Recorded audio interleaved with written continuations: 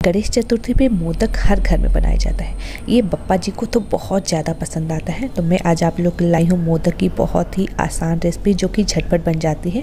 तो इसके लिए आपको एक पैन को गरम कर लेना है, हल्का सा गरम करना है। इसके बाद आप इसमें डाल दीजिए दो चम्मच घी।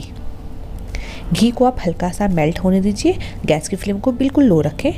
इसके बाद जब घी मेल्ट हो जाए हल्का सा तो आप इसमें डाल दीजिए खसखस यानी कि पॉपी सीड, डेढ़ चम्मच के लगभग। अगर आपके पास नहीं है तो आप इसे स्किप भी कर सकते हैं। और इसको आपको लो फ्लेम पे भूनना है।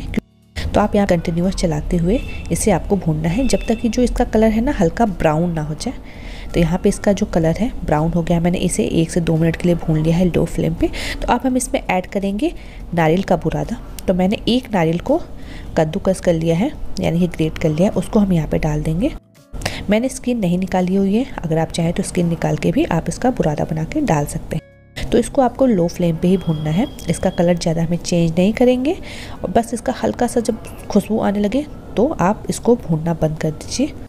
तो यहाँ पे देखिए हमारा जो नाइल है, बहुत अच्छे से भून गया है। तो मैं इसमें डालूँगी कुछ किशमिश तो यहाँ पे मैंने थोड़े किशमिश को साबुत रखा है, थोड़े को मैंने कट कर लिया है। और यहाँ पे मैं डाल काजू और बादाम। जो भी आपको ड्राई फ्रूट्स पसंद हो, आप डाल सकते हैं। पैन मैंने इसे कट करके डाला है। आप फाइनली चॉप करके भी डाल सकते हैं। इसको हमको लो फ्लेम पे भूनना है। जो काजू और बादाम है, वो भी अच्छे से आपके यहाँ पे रोस्ट हो जाना चाहिए। तो सभी जो हमारे ड्राई फ्रूट्स हैं, अच्छे से रोस्ट हो गए हैं। और हल्की हल्की खुशबू आनी शुरू हो गई तो मैं इसमें डालूँगी गुड़। ट्रेडिशनली आप ये गुड़ में ही बनाई जाती है। तो मैंने यहाँ पे आधा कप से कम गुड़ लिया है। क्योंकि जो भी ड्राई फ्रूट्स हमने लिया है ना, सबकी खुद की मिठास होती है। आप चाहें तो यहाँ पे फुल आधा कप भी गुड़ डाल सकते हैं। लेकिन मैं थोड़ा सा कम डाला है। इतने में इसकी स्वीटनेस है, बिल्कुल परफेक्ट आएगी और इसको आपको पकाना है लो फ्लेम पे। गुड़ जो है, इसमें अच्छे से मेल्ट हो जाना चाहिए। तो देखिए, इसका कलर चेंज हो गया है। तो अब हम इसमें डाल देंगे one four teaspoon cardamom powder यानी छोटी इलायची का पाउडर इसको भी इसमें मिक्स कर लेना है। इससे इसमें बहुत बढ़िया टेस्ट आता है, पर आप वन फोर टी स्पून डालें, इससे ज़्यादा आप ना डालें। तो जो हमारा ये मिक्सचर है रेडी हो गया है तो हम गैस की फ्लेम को ऑफ़ कर देंगे और इसे हम ठंडा होने के लिए रख देंगे। तो अब हम बनाएँगे मोदक के लिए आटा। तो मैंने सेम वही पैन यहाँ पे यूज़ किया है। इसमें मैं डालूँगी पानी। तो आपको डालना है यहाँ पे डेढ़ कप पानी। आप, अगर आपके पास ऐसा मेजरिंग कप नहीं है तो आप किसी भी बाउल से मेज़रमेंट कर सकते हैं। इसके बाद आपको इसमें ऐड कर देना है एक चम्मच घी। इससे बहुत बढ़िया टेस्ट आता है मोदक का। और आटा भी अच्छे से सॉफ्ट हो जाता है। इसके बाद इसमें आपको डालना है वन फोर टी स्पून नमक। हम यहाँ पे ट्रेडिशनल तरीके से मोदक बना रहे हैं तो इसमें आप हल्का सा नमक ज़रूर डालें, इससे टेस्ट बढ़िया आता है। जब आपका पानी अच्छे से बॉईल हो जाए, तब आप इसमें डालिए थोड़ा थोड़ा करके चावल का आटा। गैस की फ्लेम को आप बिल्कुल लो कर दीजिए और एक हाथ से आप गिराइए और एक हाथ से आप विस्कर की हेल्प से इसे मिक्स करते रहिए, नहीं तो इसमें लम्स आ जाएँगे। तो हम इसमें थोड़ा सा और आटा ऐड कर देंगे, यानी कि मैंने यहाँ पे एक कप आटा यूज़ किया है, उसी कप से जिससे हमने पानी डाला हुआ था। इसको आपको यहाँ पे अब कलछी से आपको इसे मिक्स करना है। तो देखिए, आटा बहुत सॉफ्ट हो गया है, अच्छे से पानी को एब्जॉर्ब कर लिया है। तो इसको आपको दो से तीन मिनट के लिए लो फ्लेम पर आपको इसको पकाना है। तो आप इसे चलाते रहिए और मसल मसल के इसको आप पका लीजिए। जब तक ये अच्छे से पक ना जाए से एक जगह इकट्ठा ना हो जाए। तो देखिए बिल्कुल परफेक्ट कंसिस्टेंसी में आ गया है। एक जगह आसानी से इकट्ठा हो जा रहा है और ये बहुत ज़्यादा सॉफ्ट है। तो अब हम इसे ढक के पकाएँगे लो फ्लेम पे फाइव टू सिक्स मिनट के लिए।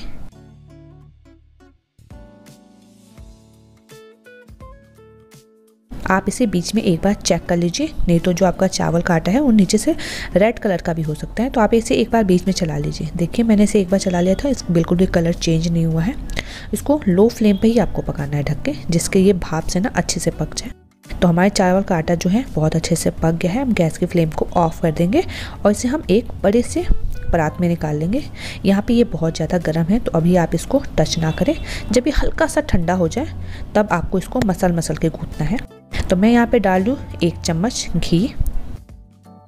और इसको हम गूँथेंगे। आटा जो ये है, वो हल्का गर्म हो तभी आपको इसको गूँथना है। ये बहुत आसानी से गूँथ जाएगा। थोड़ा सा हल्का आपको फील होगा। पर अभी आप गूँथेंगे तो इसका जो टेक्सचर है, बहुत सॉफ्ट हो जाएगा। जैसे रोटी का आटा होता है ना, वैसा ही हो जाएगा। तो मैंने यहाँ पे थोड़ा सा और घी डाल दिया है, जिससे बहुत बढ़िया टेस्ट आएगा और इसको गूँथ लिया है। ये बहुत ज़्यादा सॉफ्ट हो गया है। इसमें बिल्कुल भी क्रैक्स नहीं है। तो आटा हमारा परफेक्टली रेडी हो चुका है। अब मैंने यहाँ पे स्टफिंग आटा और यहाँ पे थोड़ा सा घी ले लिया है। घी को हम यहाँ पे थोड़ा सा मोल्ड में लगाएँगे, जिससे जब हम मोदक को निकालें तो बहुत ही आसानी से निकल जाए मोदक चिपके नहीं और थोड़ा सा आपको हाथ में लगा लेना है।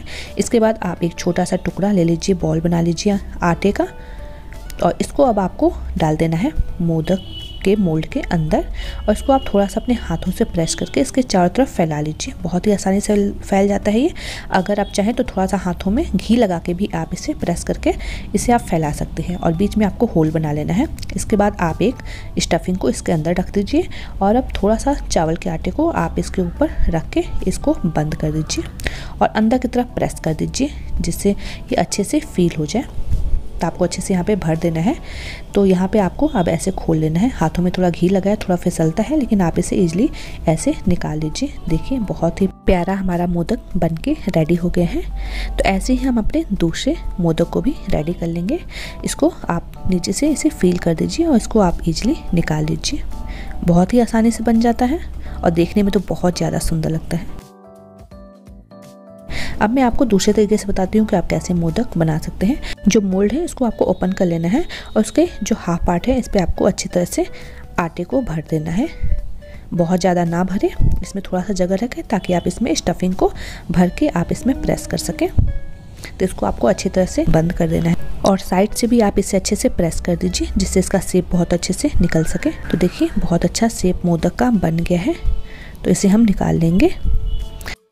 अब मैं आपको बताती हूँ कि अगर आपके पास मोदक का जो मोल्ड है वो नहीं है तो आप कैसे मोदक बना सकते हैं। तो यहाँ मैंने आटे का छोटा सा बॉल ले लिया है और बीच में हम हल्का सा होल बना लेंगे। जैसे हम पराठे की स्टफिंग करते हैं ना सेम वैसे ही आपको यहाँ पे होल बना लेना है और इसके अंदर आपको स्टफिंग डाल देना है और इसके ऊपर से आपको हल्का सा प्रेस करते हुए इसे बंद करना है। जैसे हम पराठे को बंद करते हैं, वैसे ही बंद करना है और इसे मोदक का शेप दे देना है। आप हल्का सा हाथों में घी लगा लीजिए और इसको अच्छे से फिनिशिंग दे दीजिए।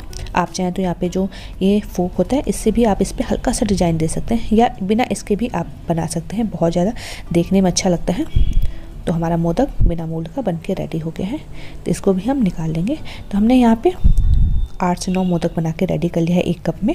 तो अब हम जिसमें भी आपको स्टीम करना है ना मोदक को, उस प्लेट को आप ग्रीस कर लीजिए अच्छी तरह से। और मैंने यहाँ पे एक भगोने में पानी गर्म होने के लग दिया ऊपर ये मैंने प्लेट रख दिया है। और इसे हम ढक के इसको गर्म कर लेंगे। जब आपका पानी अच्छे से बॉईल हो जाए, देखिए ऊपर भाप आने लगा है। तो हम इसके ऊपर अपने मोदक को रख देंगे और इसे ढक कर आपको पकाना है मीडियम फ्लेम पे 10 से 12 मिनट के लिए। तो 12 मिनट के बाद मैं इसे चेक कर लूँगी। हमारे मोदक बहुत अच्छे से स्टीम हो गए हैं। तो इसको आपको निकाल लेना है। आप इसे सर्व कीजिए। ये मोदक गरम गरम बहुत ज़्यादा अच्छे लगते हैं और ट्रेडिशनली इस पर घी डाल के सर्व किया जाता है तो इसका टेस्ट और भी बढ़िया आता है। तो मैं यहाँ पे डाल दूँगी थोड़ा सा घी। से लुक और टेस्ट दोनों बढ़ जाता है और डाल दीजिए इस पर अगर आप केसर का धागा है तो थोड़ा सा वो लगा दीजिए। बहुत ही टेस्टी मोदक बन के रेडी हो गए हैं। ये देखने में बहुत ज़्यादा सुंदर लगते हैं और खाने में भी बहुत ज़्यादा अच्छे लगते हैं। तो इस गणपति आप इसे अपने घर में एक बार ज़रूर ट्राई करिएगा। ये आपको बहुत ज़्यादा पसंद आएगा और बहुत ही ईजी रेसिपी है, झटपट बन जाता है। इसमें ज़्यादा आपको इन्ग्रीडियंट्स की भी ज़रूरत नहीं पड़ती है। तो मैं आपको यहाँ पर कट करके दिखाती हूँ कि हमारे मोदक कितने अच्छे बने हुए हैं। तो फ्रेंड्स अगर आपको हमारी ये रेसिपी पसंद आई हो तो हमारे चैनल को लाइक शेयर एंड सब्सक्राइब करना ना भूलें और बेल आइकन को प्रेस करके ऑल पे क्लिक करना ना भूलें ताकि हमारे आने वाली हर रेसिपी का नोटिफिकेशन आपको मिलता रहे। Thank you bye